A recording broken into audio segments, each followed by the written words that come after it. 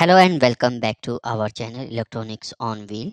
So today we are diving into one very fascinating topic and yet crucial that is our car starting system.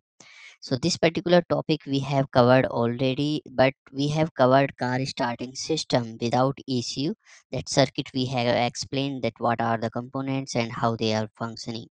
But today we will see car starting system with ECU. So what is the difference between without ECU and with ECU? These are the two things we will see today. So many of you have requested us through the comment section and through the telegram as well. So those who have not joined the telegram, they can join the telegram channel Electronics on Wheel automobile engineering i will give you the link in the description box so let's start. So we will see the starting system wiring diagram. So first uh, before jumping to the wiring diagram the goal of the starting system is very simple to start the car.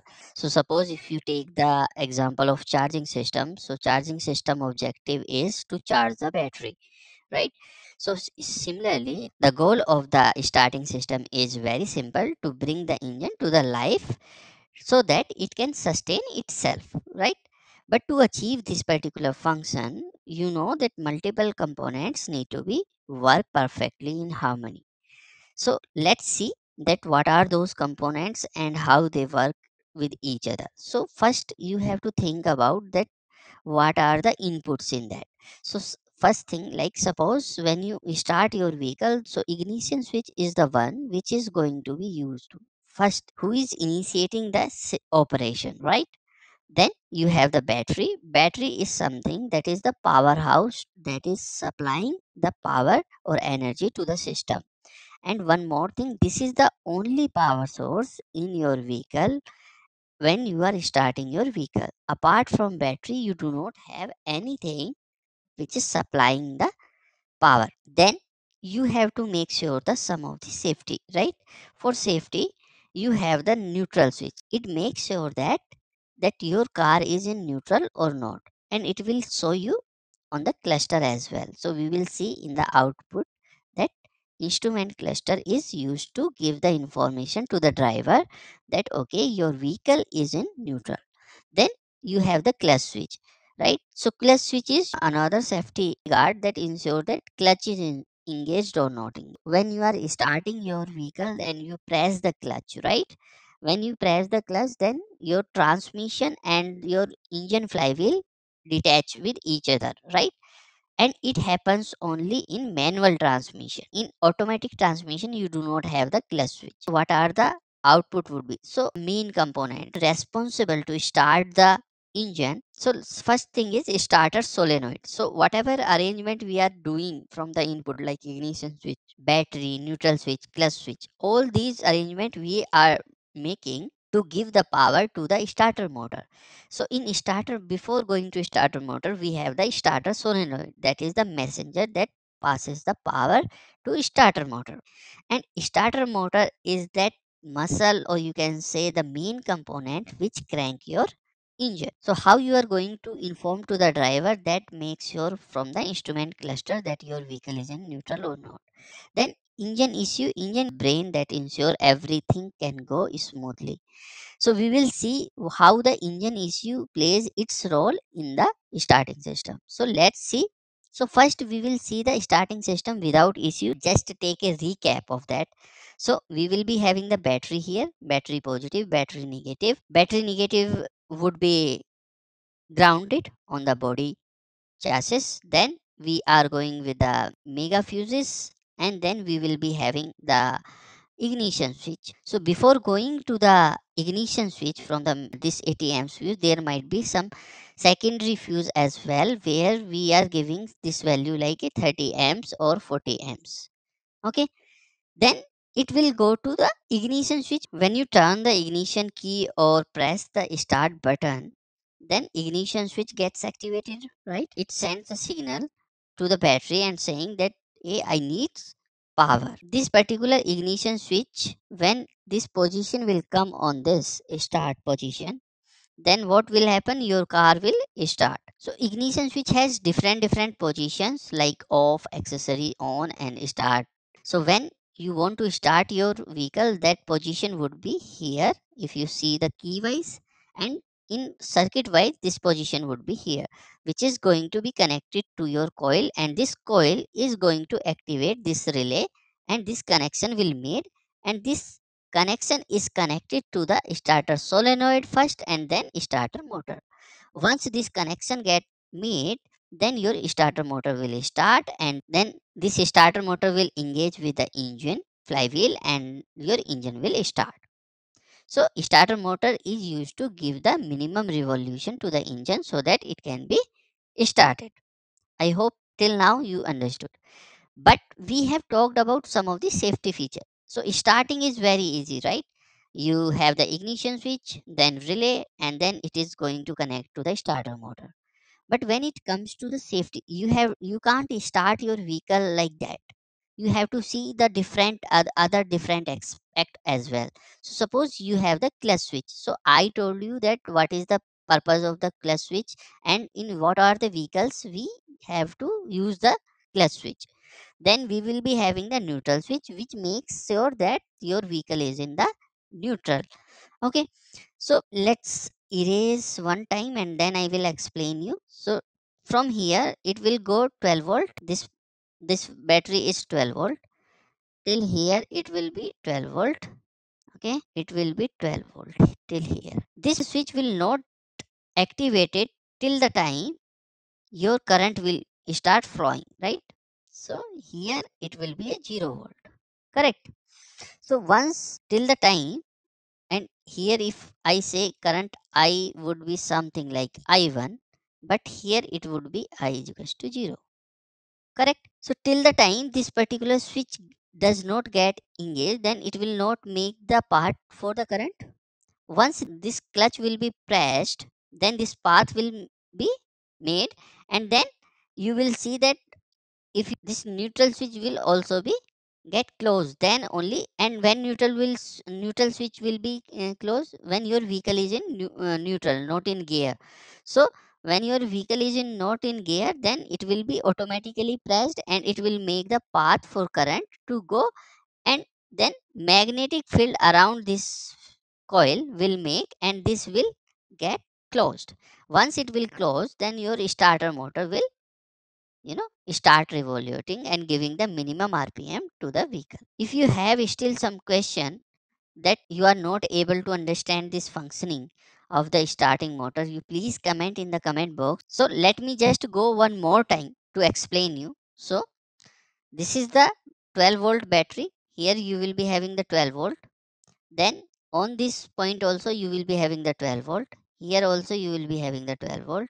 Here also you will be having the 12 volt this is my load side which is connected to my starter motor and this will connect only when your relay will get energized through the magnetic field right? And when your relay will get energized when you have the path for this particular current to flow it right? So suppose i is equals to i1 here here is equal to i is equals to i1 but here you your i will be 0 because you do not have the path. So till you do not have the path then this magnetic field will also not be generated and this particular contact side or the load side will not also be on because you have this arrangement where this particular switch will be closed only when you have this particular coil get energized and magnetic field will be generated. This magnetic field will attract this switch and will close this and make the connection to start the starter motor. I hope till here you got understand then when like when this particular switch will get closed and how the starting system will work. Now coming to the the clutch switch and neutral switch. So you already know that we have to give some safety functions or safety features so that your vehicle should not start immediately. So that some accident will happen and it will will will not be safe for the drivers right? So to make sure that we have to give some safety features. So these are the clutch switch and neutral switch. Make sure that your vehicle is in safe condition now you can see some of the connection to the instrument cluster. We give this information as i told you like output. So these signals tells to the driver vehicle is in not neutral condition or it is in neutral condition. If it is in neutral condition you might have seen many times that n symbol will be reflected on your instrument cluster. But if it is not in neutral condition then it will not show and clutch switch already as i told you that if you did not press this particular switch then connection will not be made and your vehicle will not start. I hope you understood this basic function when you are not using any ECU you are just working with the clutch switches and relays and starter motor that's all. This is the basic function of starting system. So this is the same circuit which we have explained but here we have given some of the harness name. So after this wiring diagram creation you are going to create the 2d diagram. So to create the 2d diagram you have to divide your harness into different different zones.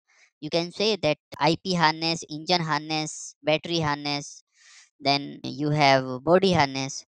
So based on vehicle layout these harness name are decided and and 2d is created. So we will not discuss much on this. If you want to discuss on how we create the 2d di- diagram you just comment in the comment box. We can uh, make one more video where we will explain everything in detail. So let's see the second case when starting system with the ecu so everything will remain same. The only thing that ECU will come in picture. Okay? So your battery is there right then your engine compartment fuse box is there where you will be having some big fuses like 60 amps. Here you can see then you have the ip fuse and ip fuse which is located you can check below the dashboard and this particular fuse box will be located. As i told that that ignition switch will not take much rating then it reduced to 10 amps right then it is going to the battery positive terminal. So we have the like different different position lock accessory on start. We have already discussed. So once this your key will go to the ignition start then your vehicle will start. But earlier this uh, this particular wire was going to the starter solenoid directly but now this is not the case. Uh, now this particular wire is going to the ems ecu gasoline. That is nothing but the engine ecu and in engine ECU this is the crank pin which is going to this uh, from the ignition switch to the crank pin in the engine ECU then this engine ECU will be having high signal and the low signal on other end to activate this particular relay. So one side it, it is a coil and other side it is a load. As we have already explained you can see that particular video where we have where we have explained in detail that what is the function of coil and what is the coil why we are using this relay. You can comment in the comment box also that why we are using the relay what is the function. And some of the subscriber has asked that sir can you make the video on the interview questions? So these are the only interview questions right? Why we are using the starter solenoid why we are using the starter motor okay so you have to you have to take the interview question from the these video itself. So most of the interview question would be answered in these video. You can check out these video in detail. If you still have some confusion on the on the interview question and you get some new interview question you comment in the comment box so that we can create the video on those interview questions and we can we can discuss together right? The purpose of this channel is always to help you. So this particular high and low signal are used to activate this particular re- relay and once the magnetic field across this coil will be generated then this will make the connection. And if you see the purpose is same that we have to activate the starter solenoid. So this particular wire is going to starter solenoid and this is our starter motor. This starter motor they here in starter motor as earlier also i told like there are two three pins is there so pin number one is directly going to the battery but starter solenoid is controlled by the relay and if i ask you the what is the function of the starter solenoid so can you comment in the comment box? So starter solenoid is something like a relay. It acts as a relay only. It directs heavy current from the battery to the starter motor. This is the purpose of starter solenoid. So the peak current if I talk here it would be like 600 amps, 700 amps and depends on the capacity of the starter motor also.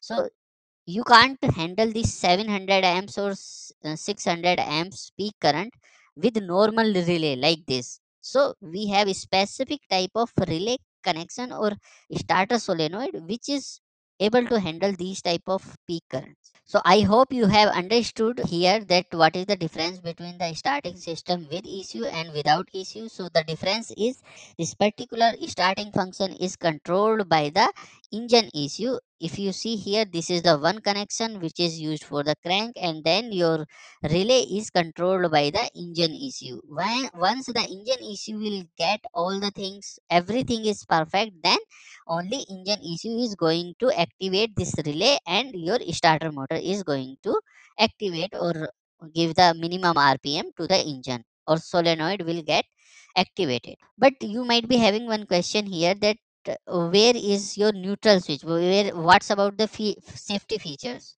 So whether we are not taking care of the safety features here, that we are not checking whether your vehicle is in neutral or whether your clutch is uh, pressed or not we are checking everything here also and in a more controlled way and more safe with more safety feature when you are using the ECU and how it is using so I told that this ECU this engine ECU is going to activate this relay. And this relay will not get activated till the time that engine ECU is checked everything whether your vehicle is in neutral or not and whether your clutch is pressed fully pressed or not. So all these things is checked by the engine ECU first and then only it is going to activate this relay so if you want to see this one one particular example so here if you see the engine ECU is connected to the gear neutral sensor and this engine ECU is checking that whether your vehicle is in neutral or not through this gear neutral sensor. Once